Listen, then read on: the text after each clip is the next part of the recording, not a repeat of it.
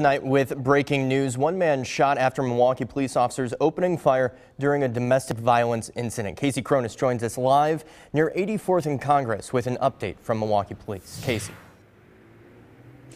Well, Bill, police haven't released the identity of that man yet, but they say he is a 34 year old Milwaukee man on parole for first degree reckless homicide and wanted for violating that parole. Now, before police knew his identity, though, they received a domestic violence related call with reports of someone being battered. When officers first arrived on scene around 6:15 tonight, they say they encountered a man who matched a description they were given. Here's what unfolded when those officers spotted their suspect. The suspect fled on foot from officers one of the officers pursued him. That individual turned while armed with a gun. Shots were fired by that individual. The officer fired shots at that individual, striking him, and he sustained a non life threatening injury.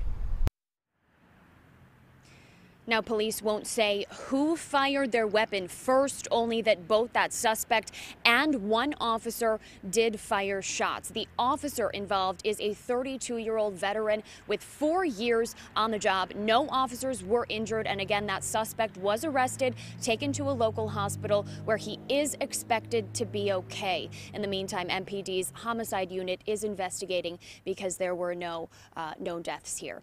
For now, reporting live outside of MPD District for Kasey Chronis, Fox 6 News. Thanks, Kasey. We know you'll follow it. We're still waiting to learn what